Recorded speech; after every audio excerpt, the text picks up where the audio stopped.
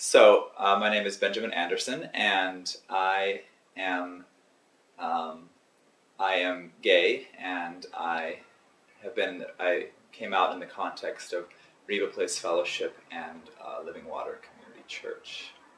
I'm on the, the LGBT Dialogue Steering Committee at Reba Place Fellowship. What's it been like for you personally? I mean, sexuality is so core to who we are, and to kind of have your sexuality discussed as a community, how has that felt to you?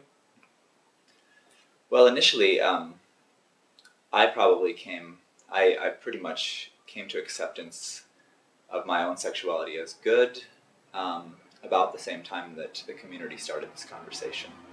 So it felt very affirming to me and very timely that um, I was kind of launching out in affirming my own sexuality while the community was uh, launching a conversation to discuss whether or not they could be an affirming community as well.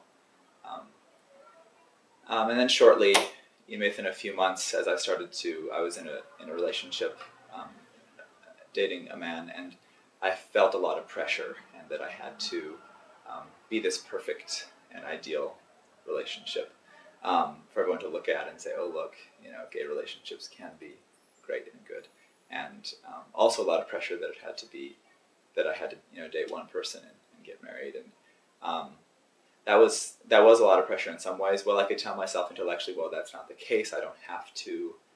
It, doesn't have to be me. Like in whether this relationship um, continues on um, into a long term relationship, or if we discern that's not the way to go, doesn't have to mean anything as far as the conversation. And yet, I still felt uh, the pressure myself um, for that to be the case.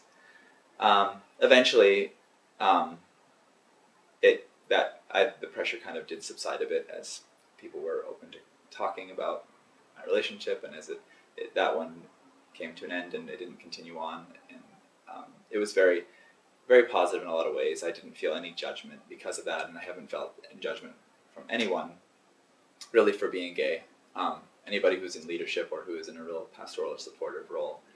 And at our best at, um, at Reba, we really do live out the call to be in closer relationship with people who differ from us in different ways. And so um, I have really felt a lot of people who find themselves in a traditional perspective really reach out uh, relational to me, relationally to me, and I um, am very close to people who have a, um, a non-affirming position as far as same-sex relationships go, and also have experienced them to be affirming of me in some way um, and sometimes it feels vague, and sometimes I get confused and think, how, how can I, or how can this person have a traditional perspective and they love me so well and support me as a person, um, and separate their their views from, um, or their their their theological position from um, a support of me.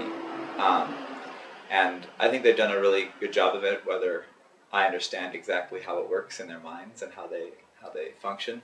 It's another it's another question, but um, but it's been a very positive experience, and and for the most part, I've well, it's been very engaging um, across lines of um, across the spectrum of where people fall in affirming or not.